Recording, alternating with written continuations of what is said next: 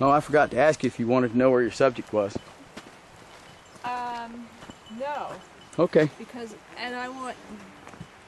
I'm working on cueing, but she's outside my area now, anyways. According to the search, what you just told Pretty me. was much. My area. Yeah. She's, but she's overlapping the buffer, so.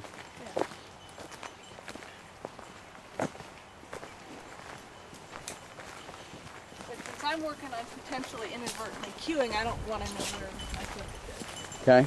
Very good.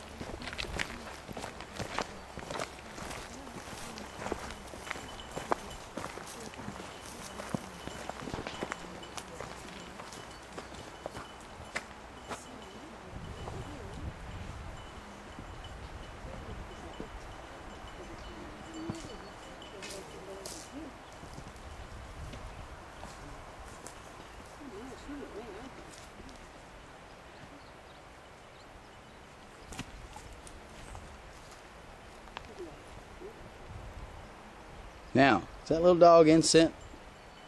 Look at that. That's so cute.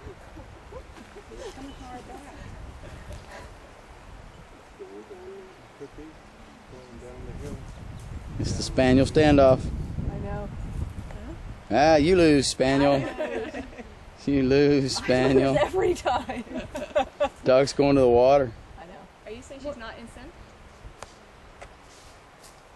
If she in, it's residual from us being out there earlier. Yeah, that's what I was wondering. But she got out there on that plateau and she just Just she lost it. yeah. Does she normally range out that far, Ann?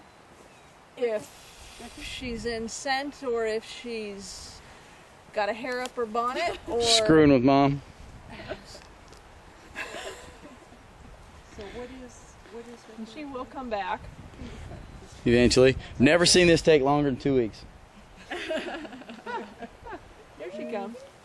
So I have a, another she comes. poser. They get out that far, that far out of your area, at, out of sight, can't hear the bell. You call them back part? I do. I can hear she's coming back. too far command. I hear Yeah. her. She's coming. She's yeah, she's working the fringe over here. coming back. Well, I don't She have is. that problem. I got mine tethered See, to the lead. but- At, fir- Right. at first, I will say, when she first started, she hit And on she's bird gone scent, again. But she's coming back, and now I'm wondering if it's something's coming over the plateau here. in There you Louisville. go. Looking away around.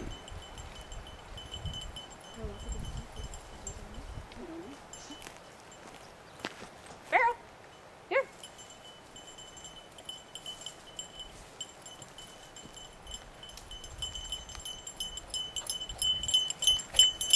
So I'd mark down details. Sure. But you can also, if you know your dog and you